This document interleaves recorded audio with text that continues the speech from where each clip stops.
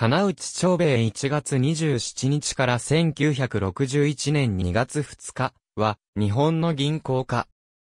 政治家。食産相互銀行社長。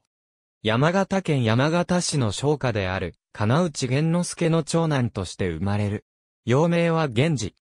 第81国立銀行取締役支配人を務めていた父が病死したため、霞小学校高等科を卒業すると母の実家である吉野家渡辺吉兵衛方に、デッチ母校として出された後、家業を継ぎ、長兵衛を襲名した。1901年には、27歳で、山形市会議員に当選。以降1943年まで長期にわたり、市会議員を務めた。また、その間には1925年6月から1942年6月まで、市会議長を務め在任期間の記録を樹立した。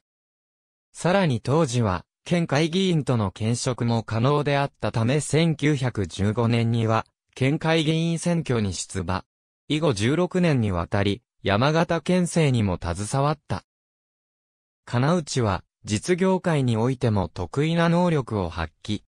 1911年には、山形ガス設立に参画したほか、山形食産株式会社、山形二札、山形製氷等の設立にも参画した。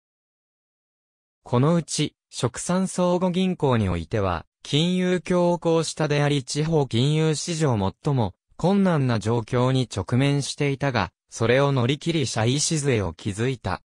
そして1951年には、相互銀行法施行による業名の変更や組織改正さらには、本店の山形市桜町への新築移転等の施策を手掛け、経営の近代化にも努めた。